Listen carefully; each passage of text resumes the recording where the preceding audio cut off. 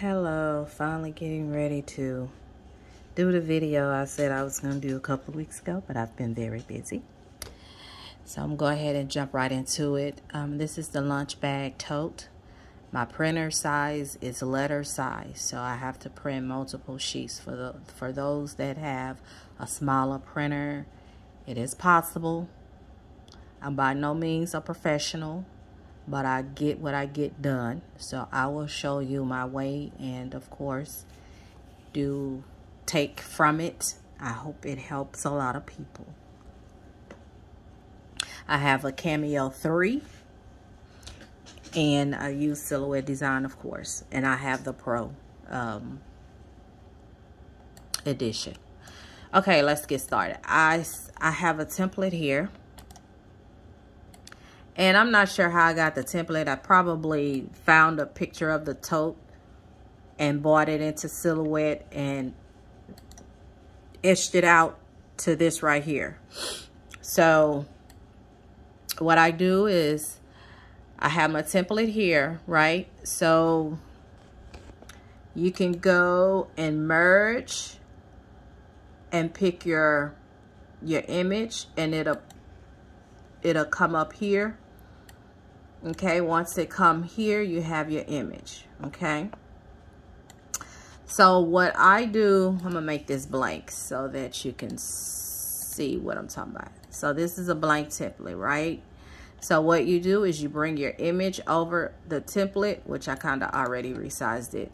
Let me just resize it down. So you take your template and your design and you just bring your template over into the design to fit make sure you cover the whole design. You don't have to cover it out like that or whatever, but just make sure that all the edges are covered. And then you can adjust this to how you want it. Like if you want this in the center, you can probably bring that up. You know, so more of the, the buckle can be down lower, but you know, once you spread the image out, you're gonna, it's, you know, it's going to look a little different, okay? So just keep that in mind when you're sizing your images. So here I'm going to take it back down to my image.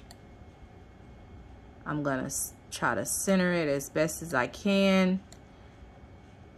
And that looks good. Let me see how much I have extra. Yeah. Got that there. And I come over and make sure this side is covered pretty good. Make sure the top is covered. And now I'll check the back, the bottom. So they all look, it's all covered, okay? So now what I do is I, first of all, duplicate your image just in case you mess up and you cut it down, blah, blah, blah, blah. So I just always duplicate my image to have one on the side just in case I need it. So what I do here is I select both. You have the image in the back. So when you just pull over, when you just drag over your, your mouse, it's going to select both images.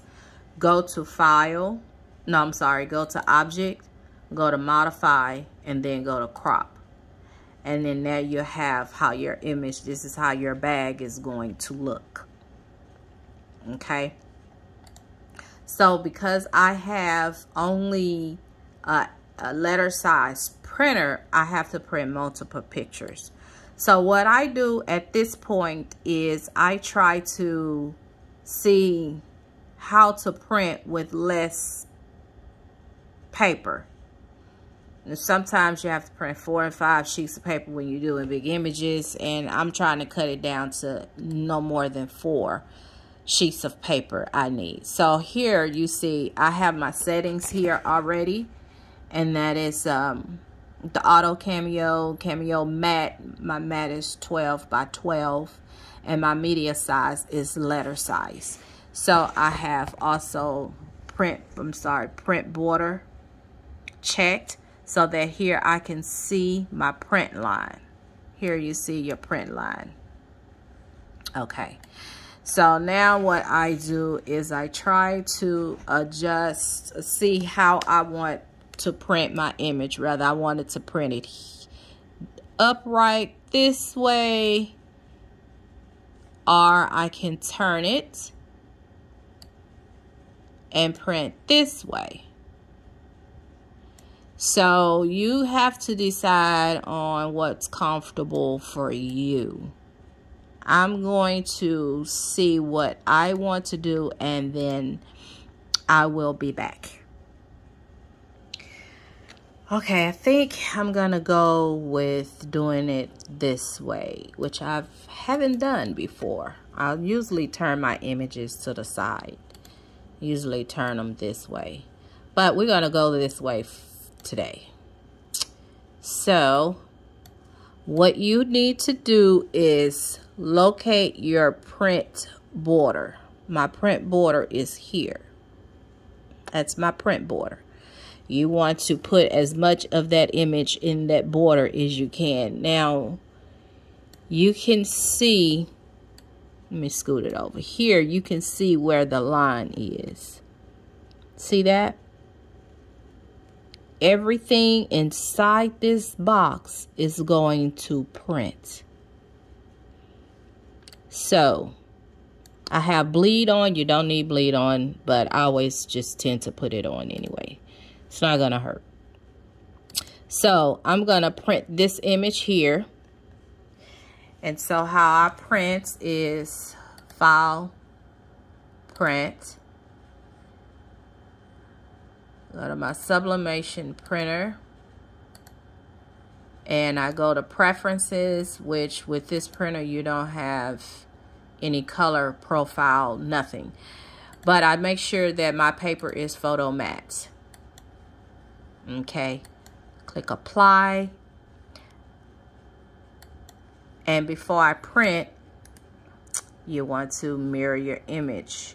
Not mirror it, but flip it horizontal. So you can right click the image go to flip horizontal and your image is flipped. Okay. Now we are ready to print.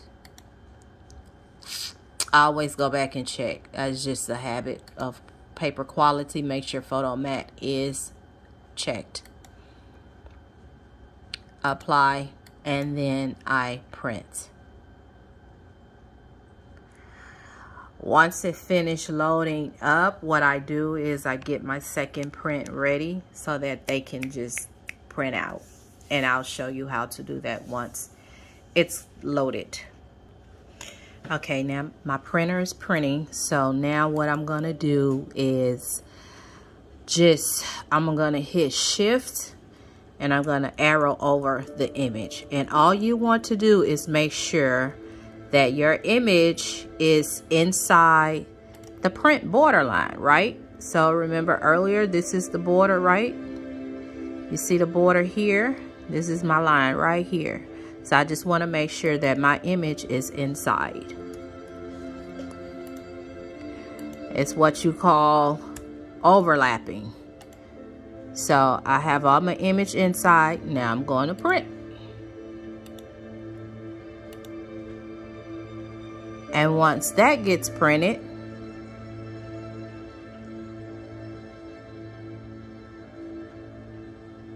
I'll do the next one. Okay, now what I'm going to do is print the bottom. So in order to print the bottom, I'm going to turn the paper because if I do it this way, then I, I, I will have to print two more sheets. So in order for me to avoid that, what I'm going to do is I'm going to turn the paper. Well, really, either way it go, I have to do two sheets just to get the bottom. So that's the only thing that sucks about having a smaller printer.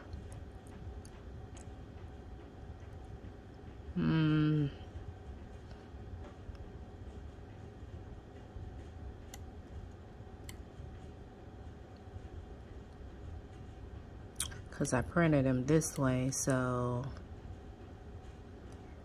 I have to print two here and two here just to get the bottom. So let's do that. Now I'll be back once both of those are printed because it's the same. You take it, you move it inside the image. I mean inside the print border. Same as we did with the other two images. So I'll be back after those two are printed. So I decided to slice the bottom of my plate, of my um, template. Instead of wasting paper and having to print two more sheets to fill the bottom, what I did was I took this image and I just sliced the bottom part of what I needed and I put it on two, I put it on one sheet. So I duplicated it, I put the top here and the bottom here. And you'll see what, what I'm talking about once I get it all together. I can't show you now because it's still loading. And so once it print, then we're going to get to the fun part of piecing the puzzle together. Okay, I hope I can catch all of this on record. So you have your left side.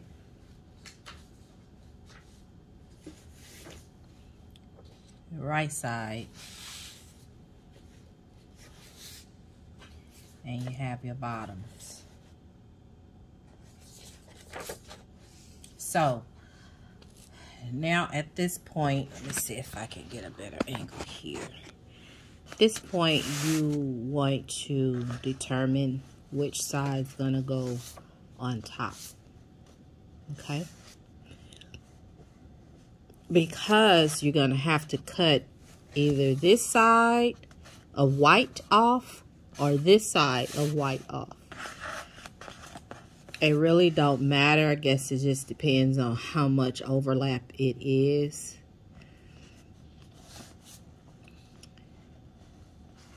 And so I'm going to do it, I'm going to do it this way. So what I'm going to do is cut this white off. And so if you all like this video, please like like it and share if anyone needs to know how to do this because I have not seen this type of video on the totes. you want to make sure all the white is trimmed off. I see a little white here. Mm, I'm just going to trim that off. Even if you cut more, you have a lot of this image, so it doesn't matter. You just want to really make sure that all the white is off. Okay, so this is how you piece the puzzle together to make a bigger image. Basically, you just line it up to where it is seamless. Just like that. See that?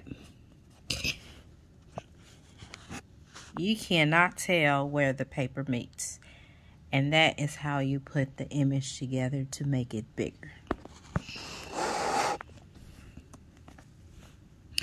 So what I'm going to do, normally you would tape here. Some people cut this excess, this extra off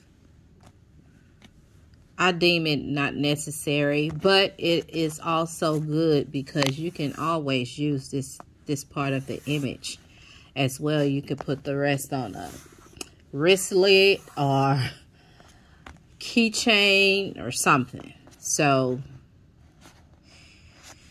what I'm going to do here is I'm going to line this up. I'm not going to tape anything down together until I am definitely sure on how I am going to do this.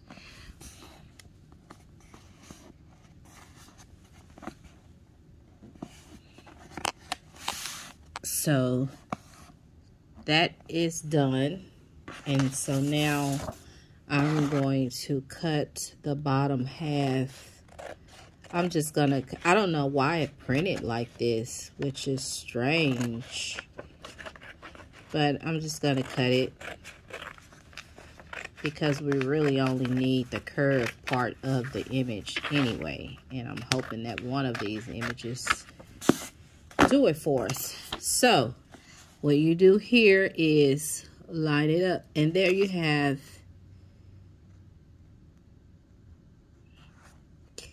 the image. Okay, so let me cut it. Let me cut it. I'm just going to trim a little bit more off. Make sure I don't have any white pieces. I don't know why that looks doubled. Maybe that's... I don't know how that look double like that.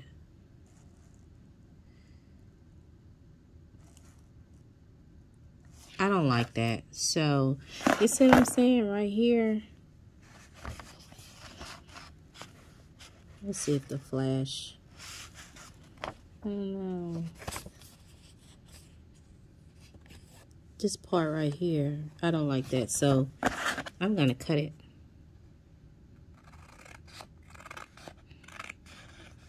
I'm just going to cut it off. Why it printed like that, I have no earthly idea. It's one good thing about overlapping is you can cut the image up and still have a good piece. See, all the way around it's like that. So, I'm just going to cut all of that off.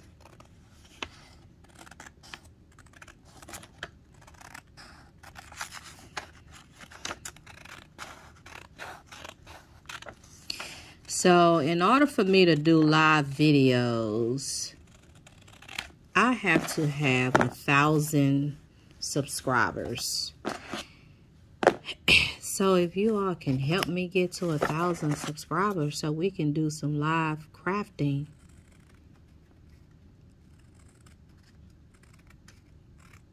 We can craft together. And anything I know, I would not I would mind sharing. Okay, that looks much better.